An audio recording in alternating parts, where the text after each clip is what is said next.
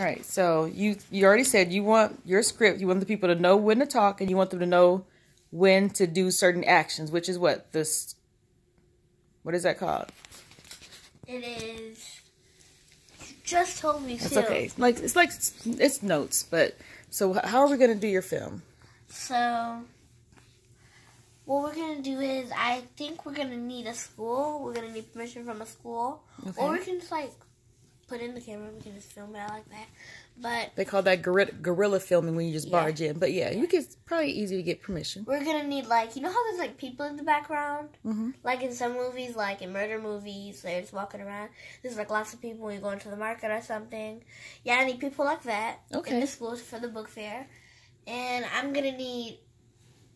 I'm gonna need my friend Isabella to help me out with this.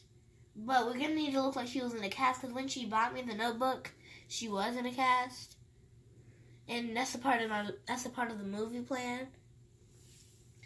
And then I think we might be in South Bend or Indianapolis. It's fine, but not many people from South Bend will be able to go to Indianapolis. Okay. Not many people, so we might film it here. I mean, in Indianapolis, or we might film it in South Bend. Well, it's whichever one you want to do. So where are you gonna um, put a casting call out? And that's when you tell people that you're having a movie and they can audition to be in it. When do you want to do a casting call? Casting call. Because they have to come and show you that they're good actors before you pick them for your movie.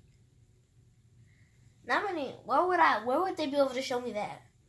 Wherever you want to. If it's if it's just like a small group of friends, you could do it at your house.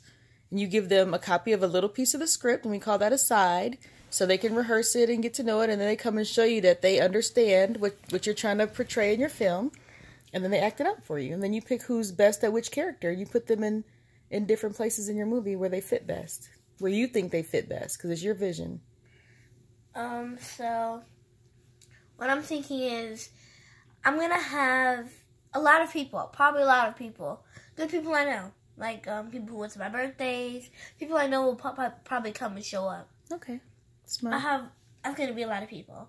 I'm gonna probably have them all lined up, and I'm gonna probably probably gonna put them in sections, like two, like two girl, two girls in each group, two boys in each group, and they're probably gonna show out their scripts, go in line, order, and then after that, I'm gonna have everybody show me what they've done. We're probably all gonna go over it together a couple of times, but then after that, I'm gonna have everybody show me what they have done, and there are gonna be some people who will not make it.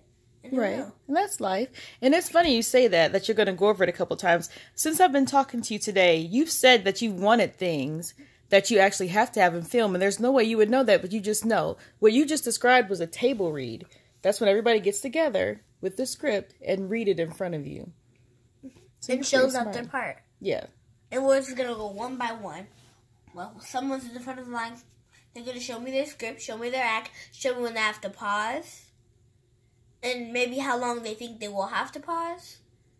I want them to show me like how they can, cause you know how like they're gonna have to move during it. Mhm. I want to see how their movement goes for that. Okay. Because some people like they they can move good, but it's like it's not the kind of movement I wanted it to be like. So that's gonna be shown. And for that the script part, I will put people in different groups.